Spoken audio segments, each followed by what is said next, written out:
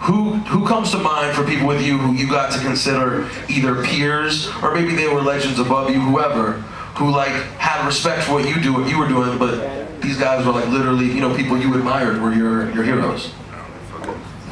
I mean, it's a big list, man. Um, Stevie Wonder, I guess. That's a good one. That's a good one. He likes my shit too. He likes my shit. Juan Epstein all day. Stevie's a good one. Because you have a very eclectic, you have a very eclectic group of fans, like in general.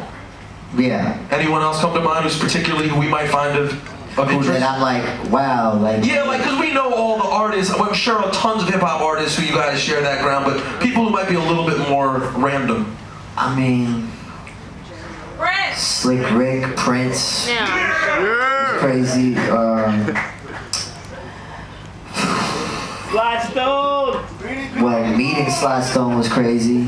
Uh, Joni Mitchell was crazy. I mean, um, I don't know, man. It's just so many.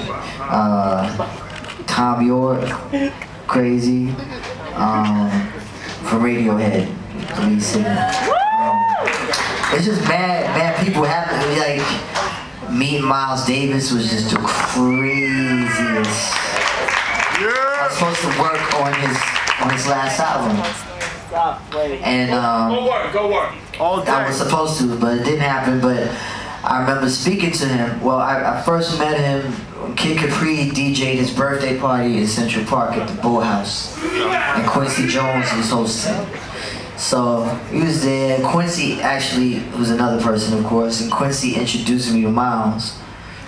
And um, I was like, "Oh, Mr. Davis, uh, uh, uh, I was, you know, I'm supposed to work with you on an album." Like, yeah, yeah, great.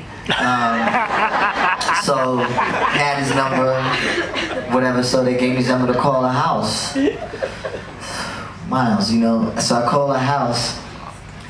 Hello, Mr. Davis. Yeah. It's Q-Tip. Uh, yeah. Um, I'm got your number through Sophia Chang. Big up to Sophia Chang. who, uh, who uh, told me that you know we are supposed to talk about working on an album. Da, da, da, da, da. He's like, "Mm, hold on a second. So he puts the phone down and he starts yelling, "Hey, yo, hey!" In the background, something crazy. Dad, Dad, whatever. I heard that. So he gets back on the phone. Hello? I'm like, Mr. Davis? He's like, yeah. I- yeah, it was a little. So um, I was like, you know, I recant the whole thing again, and um, you know, he was like, well, uh, yeah, so I guess we'll get together, right? I was like, yeah, and then um, didn't happen, and then actually when Low End Theory came out, I think was the day. It's so weird. It was the day they buried him. The day it came out. Yeah, so that's my little. So Miles definitely is there. When I met David Bowie, that was crazy. Wow. Like I've, I've had like my travels have been instinctive. I was just kidding. No. Where? Uh, Daru! Oh, he's not there.